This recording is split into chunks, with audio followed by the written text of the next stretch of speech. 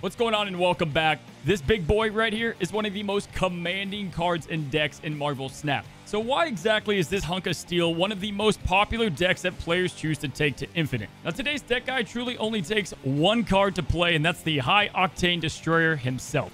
He's one of the easiest decks and cards to play. Now today I'm going to teach you everything you need to know about the cards, the decks, the supporting friends that you're going to want to play with the Destroyer, and then most importantly, that strategy that you can quickly master you'll be drunk off cosmic cubes in no time. So why should you play Destroyer decks? Now, we covered some of that in the intro, but seriously, if I'm having a losing streak or I'm just, you know, having one of those days like we've all had, the Destroyer is a deck that I fall back to for consistency. It's by far one of the best decks in Pool 3 with just a low investment of tokens. You're going to have so many Pool 1 cards in Pool 2 that fit into the deck, and then we'll have plenty of options that we can upgrade if need be. Number two, this deck wins fast. If you only have a few minutes to play the game, this is often the one that I pick and play. Guys, I choose this deck while I'm cooking dinner, watching a show. I'm talking to you Marvel Snap bathroom players when you sneak away from wherever you're supposed to be. Now, number three, the deck has just early signs of when to snap to get the most profit from cubes. And it's got so many win conditions that it's really hard for the opponent to prep for both of them. They oftentimes think you're going to play one and you play the other, and that's what makes the deck so great. And then lastly, the meta changes, but the Destroyer stays the same. Even with a nerf that came to the card, it still sees plenty of play. We're going to continue to get ongoing cards and cards that will aid this deck, so it's one that you won't have any buyer's remorse on the token shop buy. Now, the Destroyer is one of the purest power cards in the game. He's going to be sporting a 6 energy, 15 power card, which is absolutely insane and plenty to win one location. Now, he does come with the con of, you know, destroying every card on the board on your side, which can be a bummer, but luckily there are ways to tame this beast with multiple different options to use to our advantage. So let's talk about these main neutralizing options that can tame the Destroyer. We start with a card that everybody has in Armor. Now, armor is great because you're going to be using this card as the main strategy of the deck.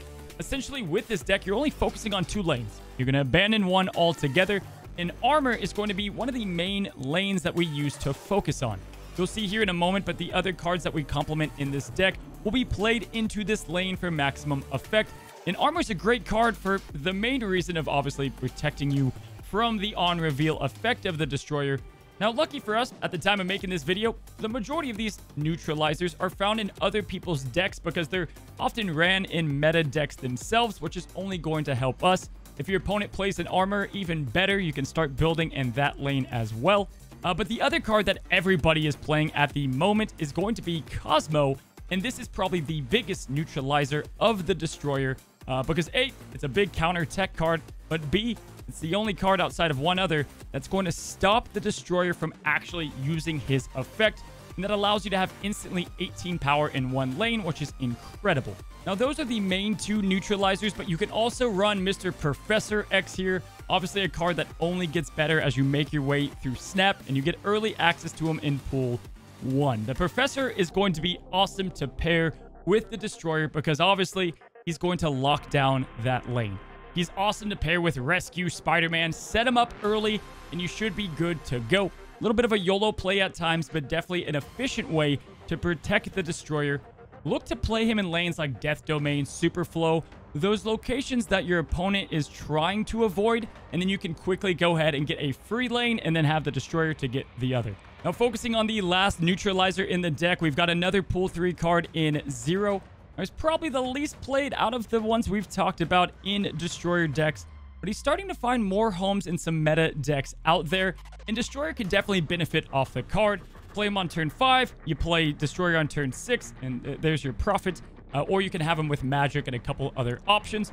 If you do have this card unlocked, it's never bad to have a fail-safe, but with the other options at hand, we can typically reliably counter the negative effects of Destroyer. But I like Zero. I plug him into plenty of decks, and I sometimes run him with my Destroyer as well. So that just about covers the main win condition, the Destroyer himself.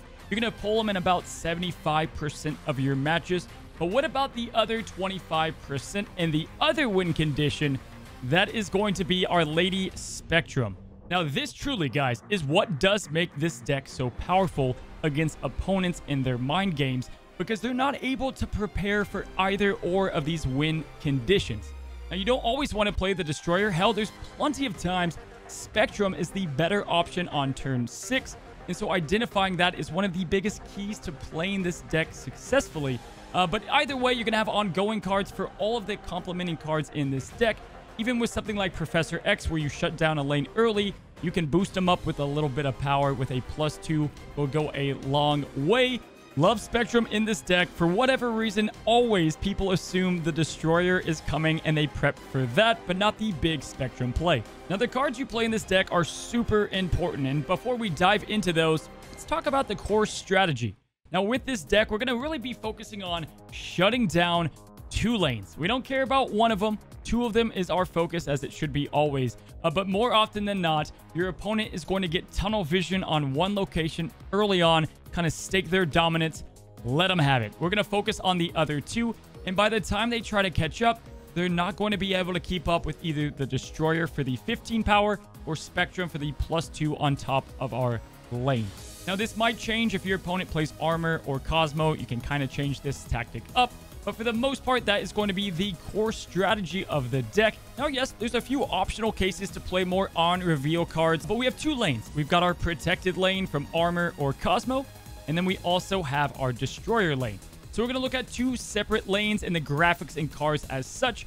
First up, we've got the winning lane. These are the ones you obviously don't want to be destroyed. And the cards you want to stack on each other for their powerful ongoing effects to either, again, safely be played in armor, behind Cosmo, or more importantly, have Spectrum boost them all up for the final finish. No huge surprises here, and again, you guys can see loads of pool 1 and 2 options. Uh, we've got Ant-Man, Ebony Maw, Mr. Fantastic, Captain America, cards you don't use a ton, and let's break down why you want to use them and what other cards you might want to consider in the winning lane. Now, Ant-Man, a 1-4 if you do have other cards at the location maxing it out, and more often than not, most of the time, obviously we're going to have this. So great card to play uh, for an early turn. We've got Mojo, who is one of the few Pool 3 additions that you can upgrade this deck with. Mojo is fantastic, and he does spike up the deck and its overall potential uh, pretty quickly. Mojo's ongoing effect is going to give him plus 6 power, making him a 2-8 if both players have 4 cards at the location. And usually, your opponent is going to challenge your armor location and not your Cosmo Destroyer location. And so this one is fantastic uh, to save for the later plays, like turn 5, or you can just get it out early and tell your opponent, like, hey, you know, this is my home, this is my lane, stay out. Now, Mr. Fantastic is another card that fits into Destroyer decks uh, pretty well because he's going to give you Destroyer that extra power that he needs to win his lane. He has an ongoing effect, and he can safely be played in the armor lane. If you see yourself pulling him early and you have armor, obviously play him in the middle for the better effect. Now, of course, we can't forget about America's ass. I always want to play Captain America. I mean, it's it's Captain America, but, you know, he doesn't fit into a lot of decks. Uh, but this is his home, guys, because you can lock down that armored uh, Cosmo location and give all of those cards plus one power. And then you add in a little bit of Spectrum, and you can seriously ramp up that location to huge power potential. Uh, games where neither one of you can reach a closed off location and it's you know down to just total power. This guy comes in super clutch. Love the card in this deck, and uh, you finally get to play the Avenger. Next up is Warpath, and this guy is not played often, but my gosh, he's a good card. He's a 4 potential 9 power, which is incredible. Now, you can have him be countered, you know, Debrii, green goblins, some bad locations. Uh, but by the time the locations show up, you know when to play him, and he can be great value for sure. Now, Sentry is a new Pool 5 card that you can play somewhat with him as well. Uh, but Sentry has an on-reveal effect, so we don't want to use that to, you know, go off the Spectrum synergy. Uh, but Warpath, another great card that you don't often use. Uh, and that's the biggest part of this deck, right? You're not going to be using these cards all the time, so it takes some time uh, to get used to the way the cards play. Uh, other cards we have is obviously Iron Man for the big finish just in case your opponent's going all in for that armored lane or they've got kind of a death combo. But my friends, it's time to talk about probably one of my favorite cards in Destroyer decks and just with Snap. He's a, he's a solid one altogether. Mr. Klaw, guys. Klaw is a cube stealer and winner for several reasons, and he pairs perfectly with Spectrum if you don't even get Destroyer. Having 4 power and 6 power on another location is fantastic. Now, if you have Spectrum, that's a 6-6, so it's a 5-12. Guys, that's just That's ludicrous, crazy. You can push that power to locations that your opponent is not expecting or to something like Death's Domain for that cheeky win. Uh, you can even play them on turn 6 if you don't have any other options on those super rare games that you don't get either Spectrum or the Destroyer. Uh, but Klaw for me is one of those mainstays in the deck. Now let's swap on over to the Destroyer lanes. These are the ones that are going to be, you know, subject to the huge death beam that comes from the card itself. These cards you can play safely. Colossus being the most obvious example. Uh, Colossus has an ongoing ability that's going to naturally fit into this deck. He's a 2-3, not bad, and he can't be destroyed. So love the card and include him in most of my builds. You also have the option to go with a destroy package, so Bucky Barnes is often included with these decks. You can go with something like Carnage, Nova, and again Sentry and eat up his Void for maximum potential. And what's really cool about Destroyer decks is there's multiple ways to play. Uh, like if you don't want to go full power on one location, you can troll and toxic a little bit with Hobgoblin or Green Goblin and just send negative power to the other locations. And then that way, it's kind of a nice fail safe just in case everything goes wrong. Uh, sometimes people put Daredevil in their decks to go ahead and capitalize uh, off the Hobgoblin and off some of the Professor X plays. He does naturally fit in there. And speaking of the other optional cards that you can run in Destroyer decks, uh, we've got options that all have low cost and ongoing abilities to go ahead and stack with Spectrum and the Destroyer. Now, Invisible Woman is perfect because obviously a huge con to this deck is that uh, a ton of people know what you're trying to do and will kind of back out early. This hides that option. Luke Cage is a cheap card that also protects you from any negative things on your side. Goose is fantastic to control one of the lanes Hell, you can claw your power into that lane and play Destroyer on the other. Very difficult for your opponent to match that. Mr. Sandman sees just about zero play in Snap, but he's going to fit in, again, perfectly. This is like a deck for all the rejects and cards that just don't see a lot of play. Uh, Sandman's an ongoing card, and at the same time, he fits into this deck because uh, you really don't need to play a lot of cards after turn 4. Now, he's going to severely kind of limit your power potential. Uh, I play him with Mojo and Ant-Man to kind of make up for that in that armor lane. Uh, but I like Sandman a lot. He fits in to kind of control the opponent and also give you a new winning advantage. And lastly, Omega Red, in my opinion, is, is more slept on. He definitely needs to be a little bit buffed, probably. Uh, but he's a fun card. And again, he works with the deck because you're going to oftentimes have tons of power in one lane. And that's how the card works the best. Uh, so you can run him again with Spectrum and some other options. I do like to include him more than others in my deck, and you'll see that today. Now, quickly, before we get to the decks, let's talk about locations that you want to look out for are things like Wakanda, Nowhere, Shuri's Lab, and Project Pegasus to get Destroyer out early. All of these are ones that I snap for pretty much immediately, as well as Onslaught's Citadel to go ahead and help out the essential armored lane. Now, let's continue on and talk about the Destroyer and the decks that he works best in. Now, opposed to the other in-depth guys that I do on this channel, uh, the Destroyer is going to have a main shell of cards that just complement him perfectly. There's one core deck that just all works together. So many people lean to on their way to Infinite. We're obviously going to cover that. Uh, but the options and replacements, that's where it gets fun and you can kind of interchange things that works best for you and your playstyle. Now, this is the Core Destroyer deck. This is going to be the one that the formula just works. The combos, the curve is magnificent, and we only have Mojo as our other Pool 3 card. If you don't have Mojo, no big deal. Swap him out. You can put Professor X in there as well, uh, or the number of other options, maybe Sandman if you want the control factor. Uh, Sandman right now is fantastic against Mr. Negative or Silver Surfer if you're struggling on those decks. And then you have other options that you can kind of slot and replace as well. This deck is the staple favorite, and it's all about comboing off of the cards that we've talked about on this video. All ongoing, big spectrum bonuses, and huge win conditions with the deck you're looking at here. Now, in this deck, it's all about really having Daredevil down early. We've got Ant-Man and Captain America to make up for that lack of power, and it's all just set up for a perfect turn 5. Now, it comes at the con of not having Spectrum as a bigger payoff, and you can absolutely replace her in this deck. Um, I like her for a alternate win condition, just in case to get that extra push. But Daredevil is phenomenal to run with cards like Hobgoblin and Professor X. And then if you have Destroyer or Cosmo already set up, it's pretty much GG for the opponent. Now, Atuma does not need to be in here, but I think it's perfect to go ahead and follow him up by Professor X. And of course, you can throw in Rescue or Spider-Man as well. And this is definitely a version of the deck that I do like to run when I'm not going with the more staple option. Really, the deck is all about combos. Having a great turn 2 and 3 with Daredevil and Cosmo allows you to have a perfect turns 5 and 6. And the replacement options all down below fit in perfectly if you're missing any of the cards. And then we also have the Destroyer... Er, you get the point. It's a destroy package with the destroyer card. And this deck is pretty straightforward. You've got the powerful combination that is the Bucky Barnes and Carnage combo. You can only just play Bucky. You can play Hood and get the demon into the armor lane. If your opponent plays armor to counter you, then awesome. You can go ahead and have that as a free protection from your destroyer. And then we have Daredevil to set up cards like Professor X and Hobgoblin, just like the deck before it. And uh, Sentry also works into this deck as well. You can eat up the Void, or you can send it on over to the opponent for a free Hobgoblin play with Viper. Uh, this is a fun deck, and I enjoy it a lot. Uh, Killmonger, Nova packages you can run, or Guardians of the Galaxy. Rescue, Spider-Man, same as before, but with a Destroy feel. Now let's move to the last deck. Uh, Zero is going to work with Destroyer. Check up above for that in-depth guide as I really go into the decks to use for that.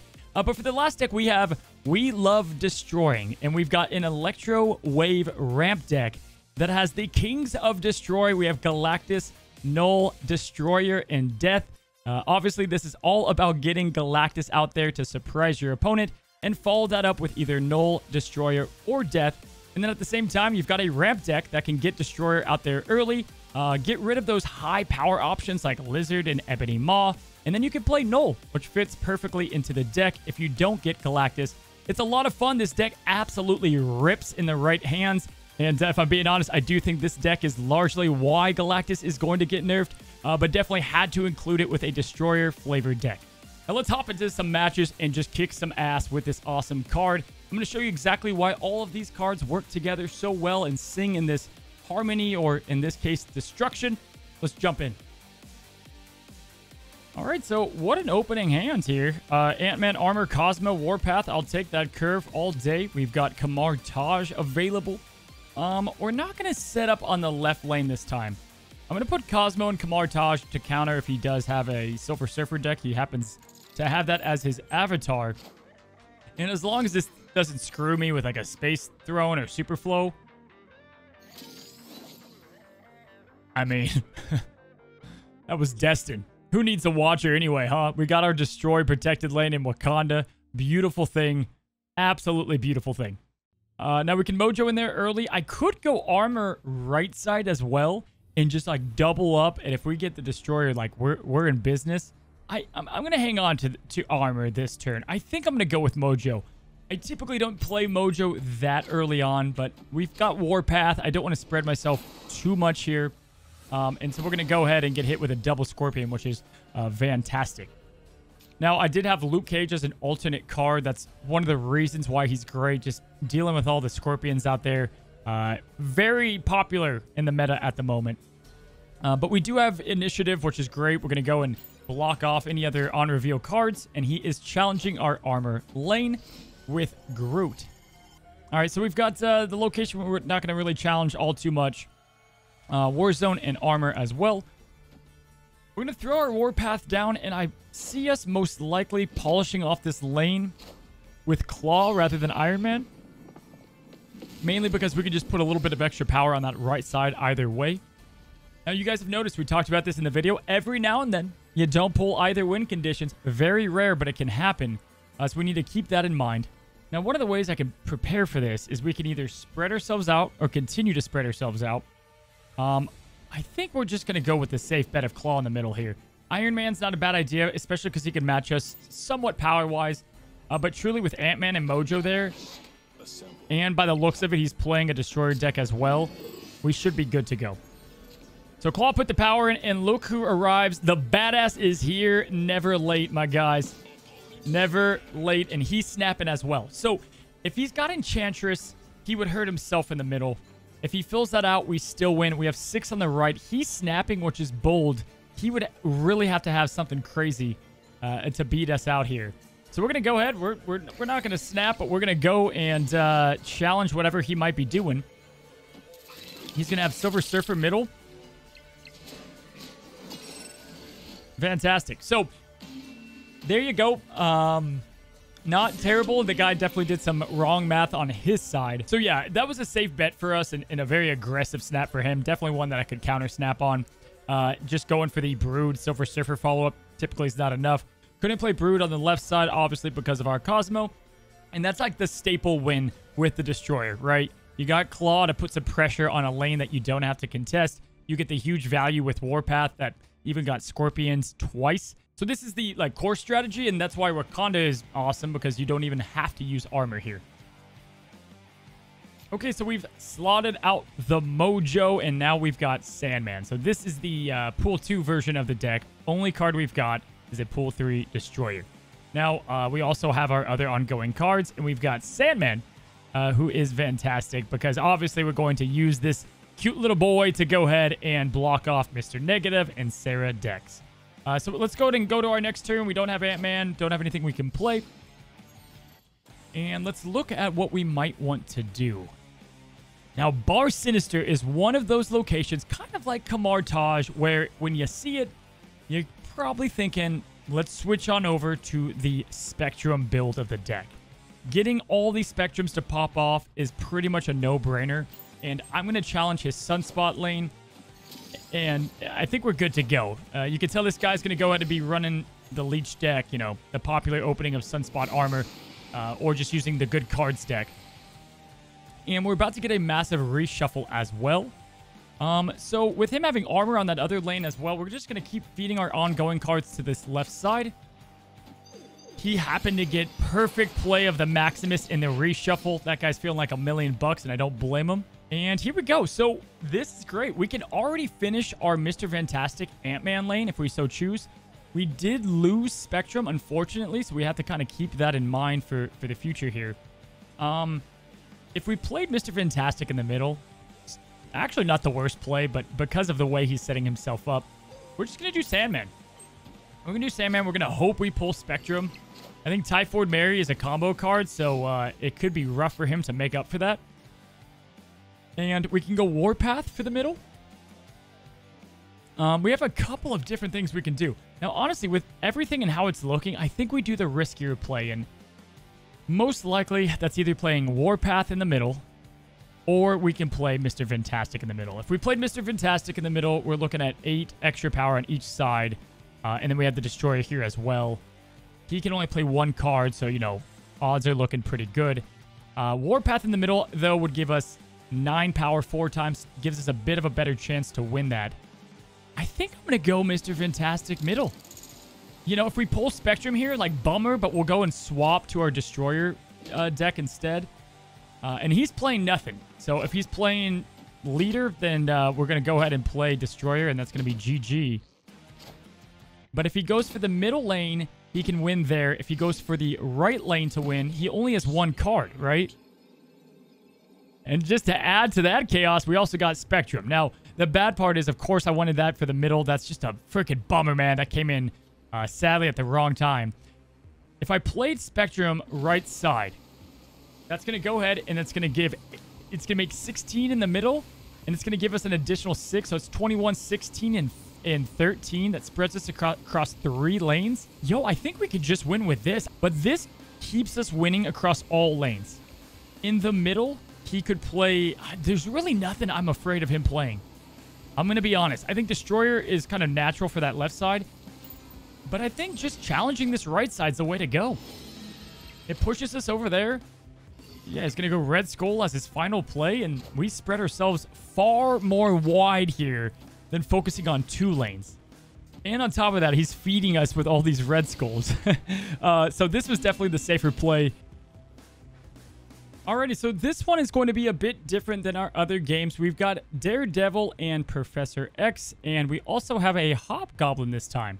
Now, sadly, I'm so sad. I forgot to just film the battle. I looked down, I wasn't recording, but I just won a battle by having a Daily Bugle Hobgoblin. We both played it, and I played Destroyer, killed my whole, whole board, and I won with just Destroyer on my side. Absolutely epic. But what I want to showcase with this particular battle is uh, using Daredevil. Uh, obviously, a lot of the cards that Destroyer package runs, uh, you can have Daredevil. Uh, you do have two cards now that don't get the Spectrum bonus, but uh, it still works because of a uh, additional win condition that you can play. Um, now, we're going to play Mr. Fantastic here, even though we're not going to get our full, you know, Wombo middle combo with him, but that's okay. He's going to be storming middle, and the hope is we get Daredevil this round. And if not, it's not the end of the world. There he is. Right on time. Um, Warpath obviously is the better value play here, but I, I kind of want to showcase the deck for you guys. I'd rather do that. Uh, and he's definitely going to be playing middle either way. And let's let's go with Dare let's go with Daredevil left side. We knew he was going to play middle anyway. He kills our Ant-Man, no big deal. We still get to go ahead and pull extra two cards. Hopefully Destroyer Cosmo. Cosmo Hobgoblin, we'll take that. And check that out. This is an awesome play. Awesome follow-up here. So we've got our pick of the litter. Let's see where this guy wants to play, and then we're going to kind of work around it. Now, obviously, right now, we don't have Cosmo. We don't have armor. We have no way to protect ourselves from the Destroyer. And with playing Hobgoblin this turn, Professor X this turn, uh, probably the best thing to do is play Professor X in one lane and Destroyer in the other. And uh, my hope is we can do it in this lane. Okay, cool. So he's going to be playing Brood. He is playing a Silver Surfer deck. We have closed off the middle lane, or he has. We're going to close off the right lane, and uh, he is not going to have any more room to play. So he loses. Um, so Destroyer obviously would have been played on our left side. Uh, still would have been difficult for him to beat that. Um, but we're going to go ahead and close that lane off and watch him retreat. Could have snapped. Not going to. It'll sink in here in just a moment. There it is. so that would have been nice free cubes. But uh, I guess that's one reason I like Daredevil. Spectrum's a bit more risky, so you don't have to play Spectrum in the deck if you run more of a Daredevil combination, uh, as I've shown with the uh, example decks. Uh, but this is one that kind of ran both of them, giving you like legit three different ways to win or ways to complement the cards uh, that you have with Spectrum and Destroyer. We're back with a little bit of Omega Red Destroyer. Now, I love this combo. People do not expect it, which is the best thing going for it. Uh, for a powerful ability, if people aren't expecting it, it's always great to catch him by surprise. Um, but we're going to go ahead and have some fun with this one, and he is an option that you can run. Now, Scorpion is devastating as an opening move to us here. Um, but we did get relief with Wakanda, thank God. Um, so let's go ahead and start playing into that. Now, this guy's snapping off the bat. I don't know what he's thinking to, to have that happen so early. Mr. Fantastic's really our only play at the moment. Um, and we're probably just going to throw him here on the uh, on the right side. He's got a ramp deck. Congratulations, Dan. I think we should be okay. Even if he ramps us, we've, you know, what is he going to leader us and our destroyer? We should be fine. We're going to Omega Red, probably Iron Man this.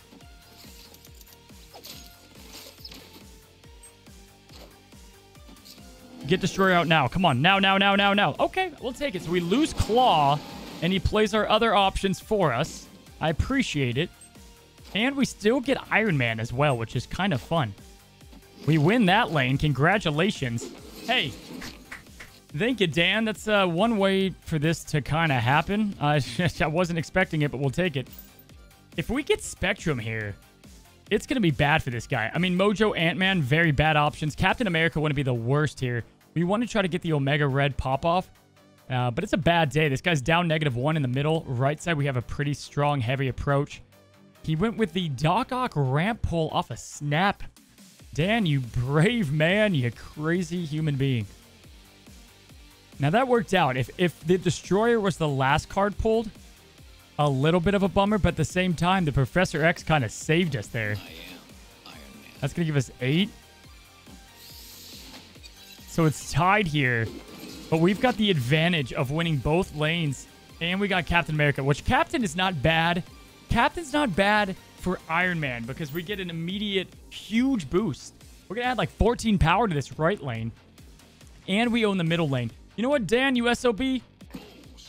He's going to snap on us. We're going to snap on him. He's out of here. Get out of here, Dan. Keep your damn Dr. Octopus as well. So that is the Omega Red option. Uh, that probably would have given us the power to have 10 over, and then we could have had even more power, even if we lost this Doc Ock push. So it's a fun option to use, and you could definitely do it as well.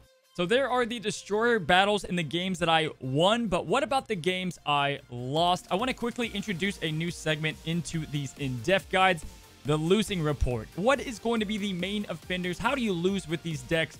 Uh, because I don't want to waste your time and show the losses when we go through the battles. I want to show how the deck executes. But uh, for the battles that I did lose, here's some footage. Uh, we've got a Hobgoblin that sadly took down me in the middle lane, which completely nullified and cut down my Warpath's ongoing ability. Uh, so things like that you want to look out for. I had a huge RNG Scarlet Witch change the location to Central Park.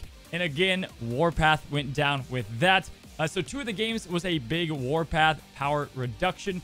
Uh, I lost to Galactus a couple of times. Was not expecting a Galactus in a handful of decks that I should have saw it coming. And then obviously in this meta, Silver Surfer, Maximus, Brood, these huge turn 6 plays can obviously beat Destroyer lanes. Uh, funny enough, I call it in this clip. I'll show you it briefly.